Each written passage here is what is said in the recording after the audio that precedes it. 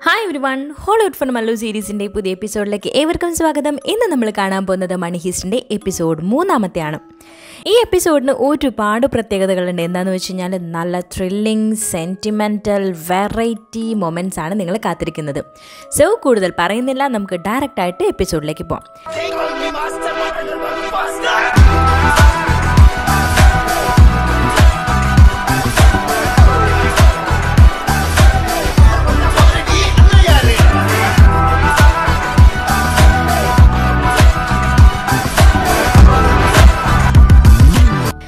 സ്റ്റാർട്ടിങ്ങിൽ നമ്മൾ കാണുന്നത് മോസ്കോ ജയിലിൽ നിന്ന് ഇറങ്ങുന്നതാണ്. പ്രൊഫസർ കാറുമായിട്ട് വന്നിട്ട് പിക്ക് ചെയ്യാൻ വന്നിട്ടുണ്ട്. അവിടെ നിന്ന് നേരെ അവർ നല്ല ഭംഗിയുള്ള ഒരു സ്ഥലത്തേക്കാണ് പോകുന്നത്. ഈ സ്ഥലം കാണുമ്പോൾ എനിക്ക് മിസ്റ്റർ ബീൻ ഓർമ്മ വരാറുണ്ട് കേട്ടോ. നിങ്ങൾക്കും സംഭവം മനസ്സിലായിട്ടുണ്ടെങ്കിൽ താഴെ കമന്റ് ചെയ്യാം. അപ്പോൾ അവിടെ വെച്ചിട്ട് ഇവർ സംസാരിക്കുന്നത് ഒരു പ്ലാനിനെ കുറിച്ചിട്ടാണ്. എന്താണ്? ഞാനൊരു റോബറി പ്ലാൻ ചെയ്തിട്ടുണ്ട്. അതിലേക്ക് നിങ്ങൾ ആപ്റ്റാണെന്ന് എനിക്ക് തോന്നുന്നു. സോ ലൈഫ് സെറ്റിൽ ആവാനുള്ളൊരു പ്ലാനാണ് നിങ്ങൾ ആലോചിച്ചിട്ട് പറയുമെന്ന് മോസ്കോ പറയാം എനിക്ക് ആലോചിക്കാനൊന്നുമില്ല പക്ഷേ എനിക്കൊരു കണ്ടീഷൻ കൂടിയുണ്ട്. ഒരാളെയും കൂടെ എടുക്കാൻ പറ്റുമെന്ന്. ആ ഒരാൾ ആരാണെന്ന് നിങ്ങൾക്ക് മനസ്സിലായിട്ടുണ്ടാവും. അതെ ഡെൻവർ. പിന്നെ നമ്മൾ കാണുന്നത് ഡെൻവറിനെയാണ്. ആ ഒരു ഇല്ലീഗൽ ഫൈറ്റ് ക്ലബിലുള്ള മെമ്പേഴ്സുമായിട്ട് അടിപിടിയാണ്. അടി എന്ന് പറഞ്ഞാൽ നല്ല പൊരിഞ്ഞടി നമ്മുടെ പാർക്ക് ആ സംഭവം പോലെ തന്നെ അവർ ബിൽഡിങ്ങിന്റെ മുകളിൽ കൂടെ ഓടുന്നു.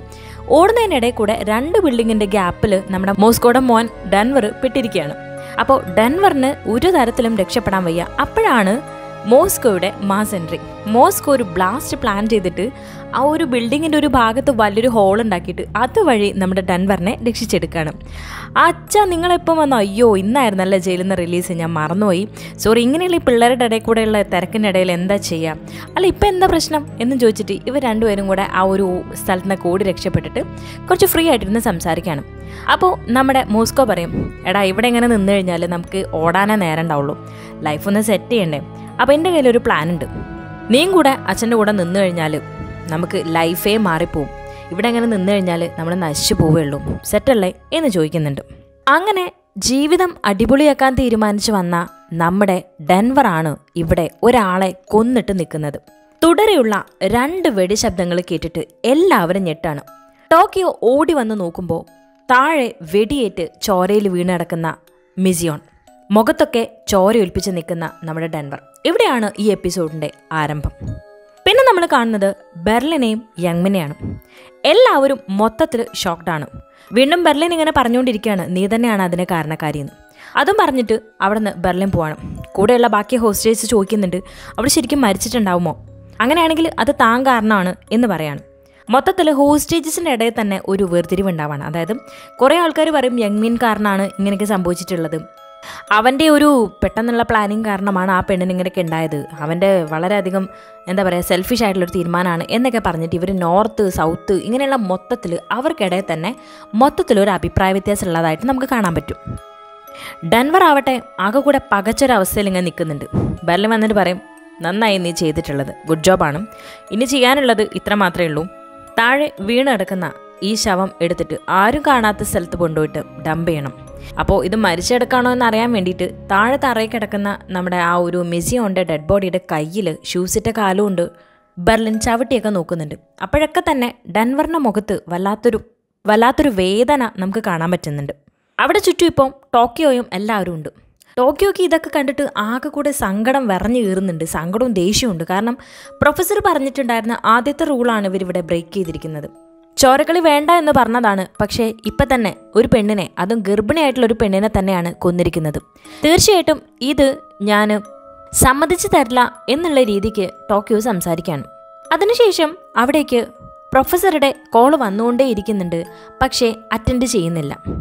പിന്നീട് ടോക്കിയോ പിരിഞ്ഞു പോയതിനു ശേഷം ബെർലിൻ ആ ഒരു ഫോണ് അറ്റൻഡ് ചെയ്യണം. അപ്പോൾ ബെർലിന്റെ അടുത്ത് ചോദിക്കും എന്തെങ്കിലും പ്രശ്നമുണ്ടോ അവിടെ ഏയ് ഇവിടെ പ്രശ്നമൊന്നുമില്ല. ഓക്കെയാണ് ഓക്കെ എങ്കിൽ നീ റിയോയുടെ കയ്യിലേക്ക് ഒന്ന് ഫോൺ കൊടുത്തേ എന്ന് പറയും. അപ്പോൾ റിയോ കോൾ അറ്റൻഡ് ചെയ്തിട്ട് ചോദിക്കും അവിടെ ഉണ്ടായിരുന്ന ആ ഒരു സ്മാർട്ട് വാച്ച് ഉണ്ടായിരുന്നല്ലോ. ആ വാച്ചിന്റെ ആക്സസ് ഐ ഡി ചെക്ക് ചെയ്യണം.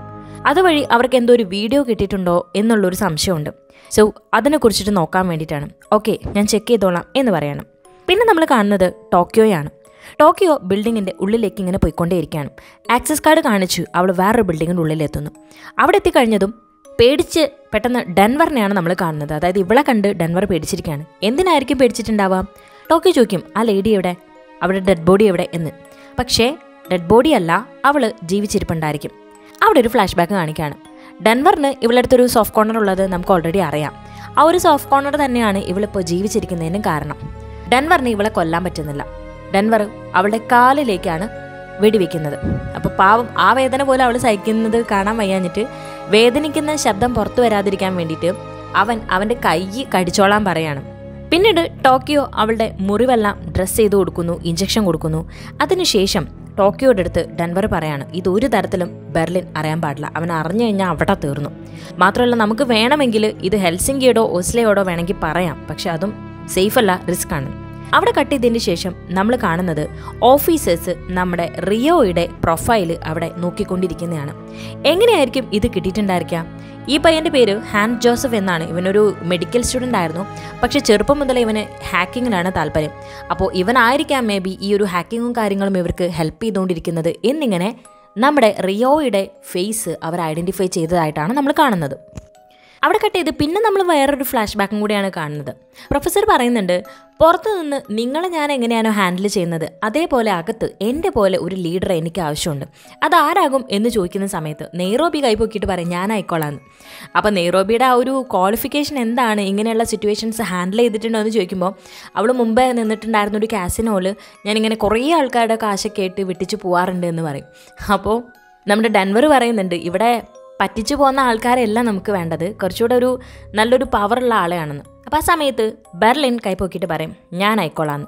കാരണം ഈ ഒരു ബിൽഡിങ്ങിന്റെ ഉള്ളിൽ പുറത്തുനിന്ന് കാണുന്ന ഭംഗി മാത്രമല്ല അതിനുള്ളിലെ എല്ലാ ആൾക്കാരും പരസ്പരം സർവൈവ് ചെയ്യാൻ വേണ്ടിയിട്ട് എന്തും ചെയ്യാനുള്ളൊരവസ്ഥയിൽ നിൽക്കുകയാണ് സ്വാഭാവികമായിട്ടും അവിടെ പലതരത്തിലുള്ള ക്ലാഷസ് ഉണ്ടാവാൻ സാധ്യതയുണ്ട്.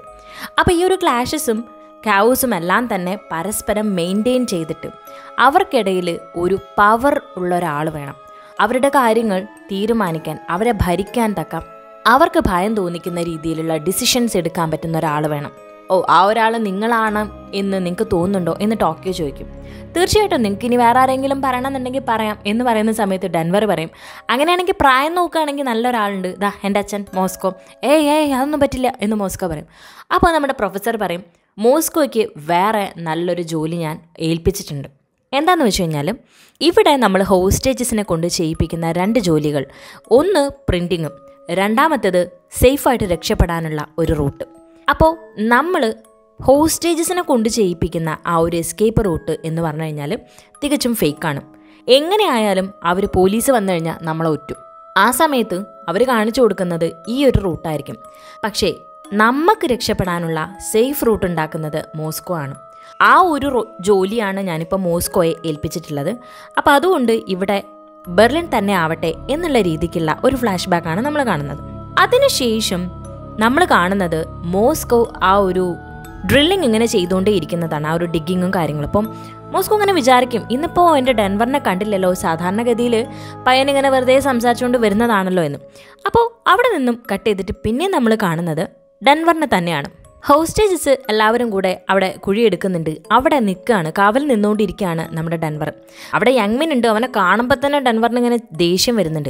അവൻ പറയും എടോ തനിക്ക് ഇതൊക്കെ ഒന്ന് ചെയ്തൂടെ എന്ന് പിന്നീട് മിസി ഓണയാണ് നമ്മൾ വീണ്ടും കാണുന്നത്.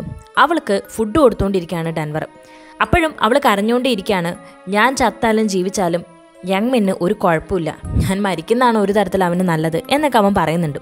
അപ്പം നമ്മുടെ ഡെൻവർ പറയും ഈ ഒരു സമയത്ത് നീ അതിനെക്കുറിച്ചൊന്നും ഓർക്കണ്ടായെന്ന്.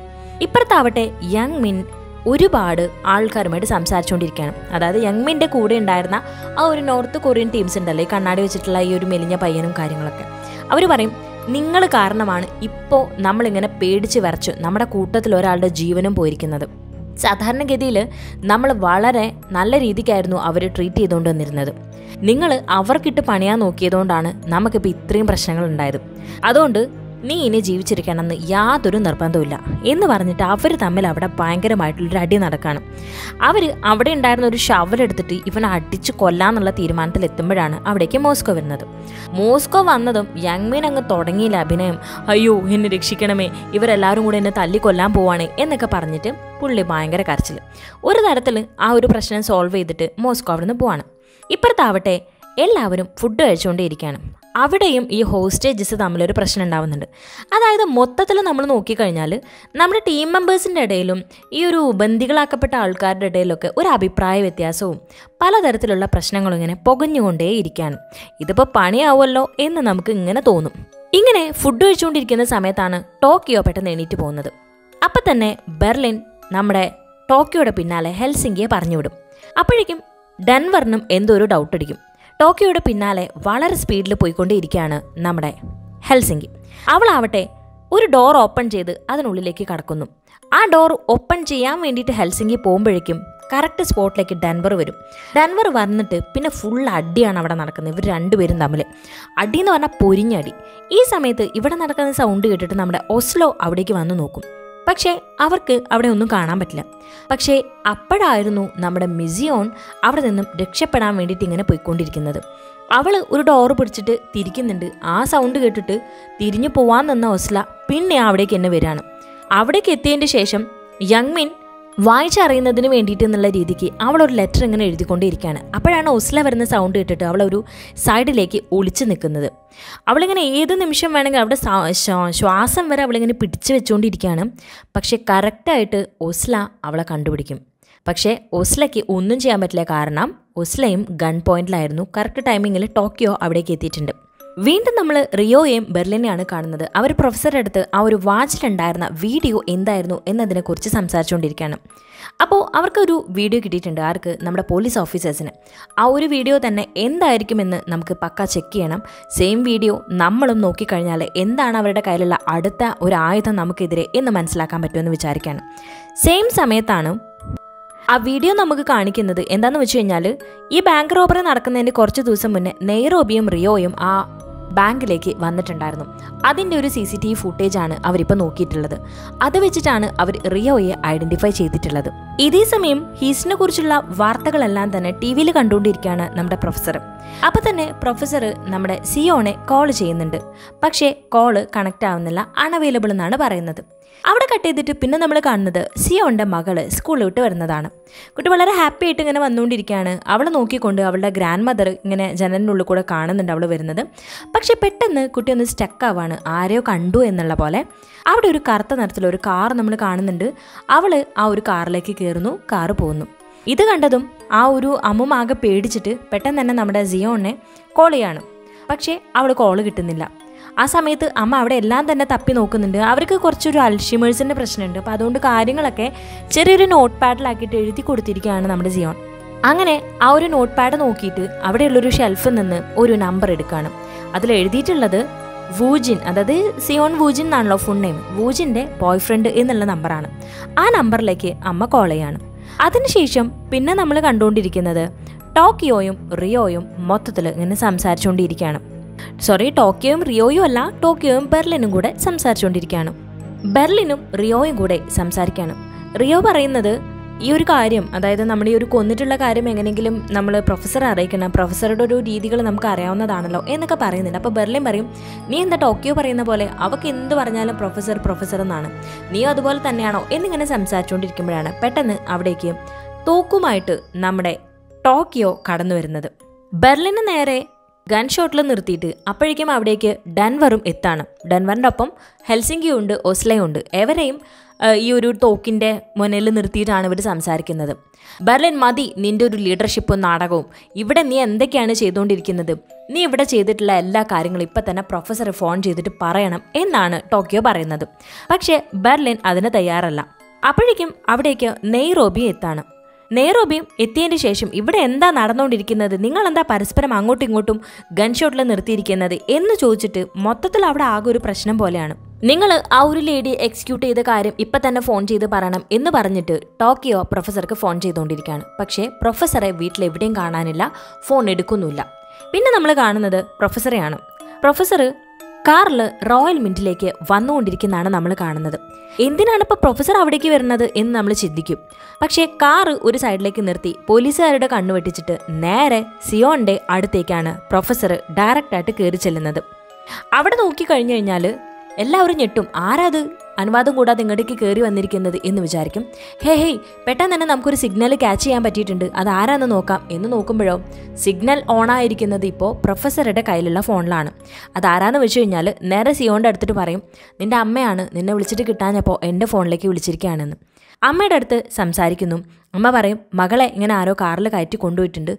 അത് ആരാണെന്ന് എനിക്ക് അറിയില്ല അതുകൊണ്ടാണ് ഞാൻ നിന്റെ ബോയ്ഫ്രണ്ടിന്റെ നമ്പറിലേക്ക് വിളിച്ചത് എന്ന് പറയാണ്. പിന്നെ നമ്മൾ കാണുന്നത് സിയോന്റെ മകളെ കൊണ്ടുപോയിരിക്കുന്ന ആളെയാണ്. ആരാന്ന് നോക്കിക്കഴിഞ്ഞാൽ അവളുടെ എക്സ് ഹസ്ബൻഡ് അയാൾ അവിടുത്തെ ഒരു വലിയ പൊളിറ്റീഷ്യനാണ് എന്നുള്ളൊരു പറച്ചിൽ നമ്മൾ നേരത്തെ കേട്ടതാണ് കഴിഞ്ഞ എപ്പിസോഡിൽ അപ്പോൾ കഴിഞ്ഞ എപ്പിസോഡ് കാണാത്തവരുണ്ടെങ്കിൽ അതെന്തായാലും എടുത്തിട്ട് കാണണം. ഒപ്പം തന്നെ നമ്മൾ ചാനൽ സബ്സ്ക്രൈബ് ചെയ്യുന്ന കാര്യം മറക്കാതിരിക്കാം മാത്രമല്ല നമ്മുടെ ചാനലിൽ നമ്മൾ മുമ്പ് സ്ട്രേഞ്ചർ തിങ്സും ചെയ്തിട്ടുണ്ടായിരുന്നു. നിങ്ങളുടെ ഇഷ്ടപ്പെട്ട എല്ലാ സീരീസും നിങ്ങൾക്ക് സജസ്റ്റ് ചെയ്യാം. ഒപ്പം തന്നെ മറ്റ് സിനിമകളും. അപ്പം നമ്മുടെ ബാക്കി ചാനലുകൾ വഴി നമ്മൾ അവയെല്ലാം തന്നെ നിങ്ങളുടെ ഇഷ്ടം പോലെ തന്നെ അപ്ലോഡ് ചെയ്യുന്നതായിരിക്കും. പകരമായിട്ട് നിങ്ങൾ നമുക്ക് സബ്സ്ക്രിപ്ഷനും ഒപ്പം തന്നെ നിങ്ങളുടെ വിലയേറിയ കമന്റുകളും അറിയിക്കാം.